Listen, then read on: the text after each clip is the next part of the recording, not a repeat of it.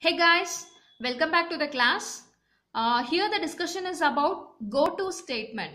So in the previous video we discussed about uh, switch case statements and here uh, it is go-to statement. This go-to statement is also called as a jump statement because it provides an unconditional jump to a predefined label which means when we use this go-to statement so we can skip some part of the program uh, without executing some part of the program directly we can move to other part of the program. And this is that is why it is called as a jump statement. And that too here we are not going to use any condition. So based on uh, in the previous classes like uh, when you take if condition okay and when you take for loop whatever it is based on the condition then the statements will get executed right? Or else uh, when we are using if condition based on the condition so it will take whether to execute the true block or it will uh, execute the else block. But here we are not using any conditions for this go to statement. Okay without a condition we can jump from one statement to other statement or we can jump from one part of the program to other part of the program. So that is why it is called as an unconditional jump statement. And when we are using this go to statement, we also have a, Uh, a, a, term called label. Okay, we will be using a label. With the help of this label only, we are going to jump from one part of the program to another part. So, and this statement actually, the go to statement alters the normal sequence of program execution. We know that the program execution will happen in a sequential way, that is line by line, one after another. But this go to statement alters this normal sequence of program execution. Also, it transfers the control from one part of the program to another part of the program, right? and now we will see the syntax of this go to statement. So this is the syntax. As mentioned here we are using a label. And this label can be any uh, name. Okay we can give any name to this label. Uh, the condition for the uh, label name is it should not be a keyword.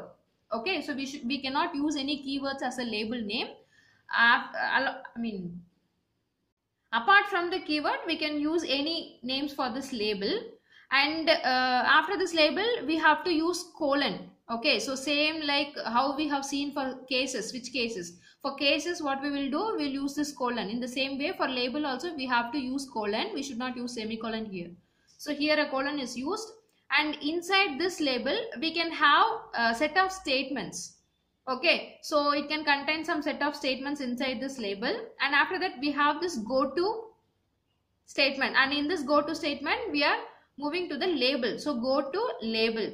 When this statement is uh, encountered okay when the control comes to this statement then what happens after seeing this go to label? The compiler will uh, check for the label that is present in our program where this particular label is there. Okay it will first check for the label in a program and wherever the label is there the control will directly move to that label and it will execute the statements the set of statements that is present inside this label. Okay whatever the statement that is present inside the label that will get executed. So here what is happening uh, even though we have other statements uh, after this go to label so it will just skip that part of statements. Okay it will just skip that statements. Instead of executing that statement the control will directly move to this label part right? So if i uh, show you some example then you will get to know it clearly how the go to statement can be used and how the control is moving from a, from a statement that is one part to another part of a program. Then coming to the drawback of go to statement. So the major drawback of go to statement is it uh, makes the program more difficult to read and maintain. So when we are using this go to label and when we are using uh, number of go to statements okay then uh, it is very difficult to read the program and it is very difficult to understand where that uh, go to is there and how the execution is happening okay. So we'll get more i mean it will be more difficult to maintain that code as well as to understand the code. That is what the major drawback of go to statement here and in this go to uh, statement we have two types of jump. One is forward jump and the next one is backward jump. So uh, we'll see one by one what is forward jump and how the go to uh, works in this forward jump. Also what is backward jump and how the go to is uh, work, working in backward jump. Okay so coming to forward jump. And in the forward jump it skips some of some set of statements. Okay, so that is what a forward jump is. When we are using a forward jump go to statement, then what happens? It will skip some set of statements. So without executing some set of statements, instead it will skip that statement and it will execute the label directly. Okay, that is what the forward jump is. And coming to the syntax, so this is the syntax of forward jump statement. First, we have the go to label. Okay, so after this go to label statement, we have some set of statements here. And after this set of statements, then we'll be having our label. Okay, and inside this label, there are some statements present inside this label, right? So whenever your uh, control comes to this statement go to label, so after seeing this, now what your uh, compiler will do, it will search for this label in the program. So if that label is present, then directly the control moves to this label and it will execute the block of this label okay so what happens? Here some set of statements will be there na? So those statements will be skipped. Okay those statements will not get executed. Until the program gets completed uh, or, or until the program gets terminated this statements will not get executed. Okay so this is what the forward jump is. Here it skips some set of statements. Without executing these statements the control moves to the uh, label directly. Right and this is a simple uh, C code which is uh, using this forward jump go to statement. And coming to the code starting with the header file then we have a main function. So inside main function the first statement is a declaration statement where the variable num is declared and initialized with value 20 okay so now the value of num is 20 and this program is for checking whether the num value is even number or odd number okay so that is what the program is and for checking whether the number is even or not we know that basically when we divide a number by 2 so if it gives us the result 0 that is if, if it gives us the remainder 0 then we can say that the number is an even number. If it doesn't give uh, 0 as reminder, instead it gives value 1 as a reminder, then we know that this number is not an even number, right? So the same method we are going to follow here in a C program to find whether a number is an even number or odd number.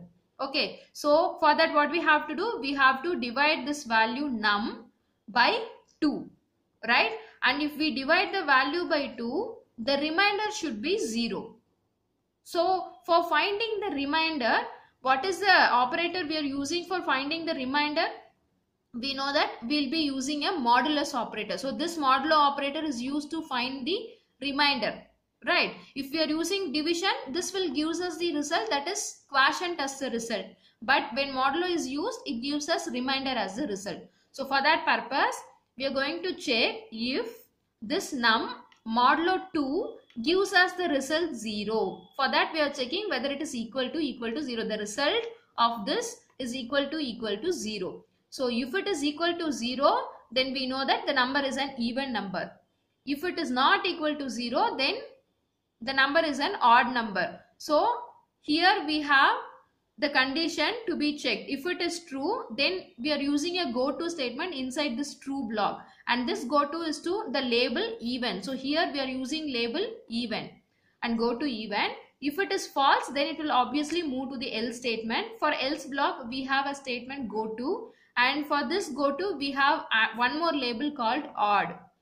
Okay, so now even is one label and odd is one label. And now we have to define these labels, right? So this is the label where this has some statements. Even is the label and it, uh, it is with colon. Okay, we are not using semicolon here. It is with colon and inside this label we have a printf statement.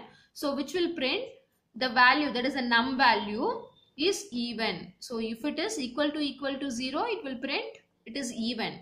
And the next label is odd label. So for odd label we have a printf statement so which will print the num is odd. That is the 20. If, if we are giving number as 20, then it should print 20 is odd. Right? So this is how it is working. After this if condition, so now the result of this condition is true. So if it is true, it will execute the true statement. That is true block. Inside the true block, we have go to even. So whenever this even label is encountered, then the control will directly move to this label even. Okay. So now the control moves to even directly. Then it will execute the statement that is present in this label. So it will execute 20 is even. So that is what given as output here. 20 is even. So after that the program gets terminated. And if you see here when this statement is encountered, this part of the statement will not get executed and this label will also not get executed. Directly the control moves to this label and the statements inside this label will get executed. So this is what the forward jump. So here it skips the remaining statements. Okay, so this is the forward jump. Then the second type of jump statement is backward jump. So in this backward jump, it executes some set of statements repeatedly in order to form a loop. That is what backward jump. In forward jump, it skips some statement without executing it. But when we are using backward jump, so this will execute some set of statements repeatedly and this forms a loop. Okay, so this is the syntax for backward jump. In the backward jump, first we will be having the label. Then after this label only, we have this go to statement. Okay, so inside this label, label we will be having some block of statements and then we have this go to label. After this uh, label we have some set of statements. Go i mean after this go to statement we have some set of statements here. So now what happens? When the program is executing first it will come to this label then it, it will execute the statements that is present inside this label. Okay? So after executing this statement then it will come to this go to label. So when it finds this go to label then again what happens? The control will move to label again. Okay. So again what happens? The block of the statements inside this label will get executed. Then the control again goes to this go to label. After seeing this go to label now the control again moves to this label. So like what happens? It will execute some set of statements. These statements will be executed repeatedly. That forms a loop here. Okay. So this is how a backward jump works. Now we will see one example to understand how it is happening.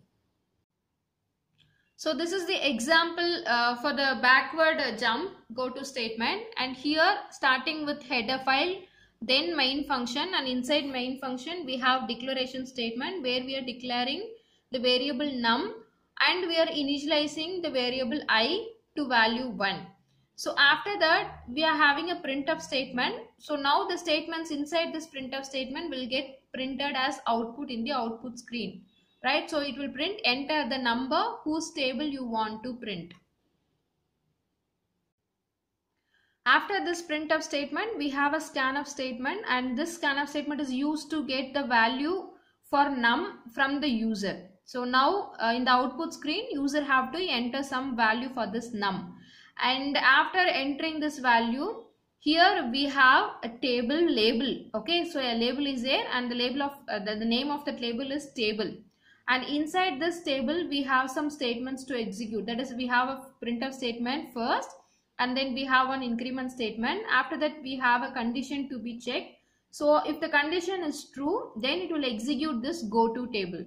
Okay if the condition is false then the program will get terminated without executing anything after this condition. And what is this program is for? Actually, this program is used to print the tables. Okay, so based on the number that is given by the user, so we are going to print that particular table. If the number uh, giving by the user is 3, then we'll uh, find the third table. Okay, we'll try to print the third table. If the number is 4, then it will print fourth table. So now likewise we are going to get we are going to get uh, input from the user and based on the input uh, the tables will be displayed right. So now for this example I have given the number 2 okay so the number is given as 2 and for this 2 it will going to print the uh, 2 table. Okay it will print the 2 table. And now coming to this label. So first in the printf statement it will print for this percentage d we have num. So this will take the value 2 so 2 then multiplied by for the next percentage d the value it will take is i. So what is the value of i initially? It is already initialized to 1 so it will take value 1 equal to then for this percentage d it will take num star i. So what is 2 star 1 that is 2 multiplied by 1 the result will be 2 so this statement will be printed first okay so this is the first statement it is printed so 2 into 1 is equal to 2 after printing this the i value gets incremented and now the i value becomes 2 Okay, so after the value gets incremented, now it will come to this if condition and it will check whether 2 is less than or equal to 0. It is true. If it is true, it executes this go to label. So now what happens? The control will again move to the label table. Okay, so after that, again it will execute this printf statement and here the num value will again 2 but i value gets incremented to 2 so now what happens? 2 into 2. Then num star i that is 2 star 2 which will print the value 4. So after printing the statement the control moves to increment operator. So now i value becomes 3. Then it will check whether 3 is less than or equal to 10. If it is true again it will execute this table. So in the same way for how long this process will execute until the value of i becomes 11 okay? So till value of i is 10 it will print like this. That is 2 into 2 4 2 into 3 6 like it will print the output like this. Okay? Until 2 into 10 is equal to 20 when the value of i becomes 11 okay and it will go for checking the condition whether 11 is less than or equal to 10 so which will become false so when this condition becomes false, it will not execute this go to table. So instead it will get terminated. Right? So it will print up to 2 into 10 is equal to 20. And this is how the backward jump works which means so here label is present at the top and go to statement is present at the below this label. Also it will execute repeatedly. Okay, this label will get executed repeatedly until some condition is met right so this also forms a loop here and this is what the backward jump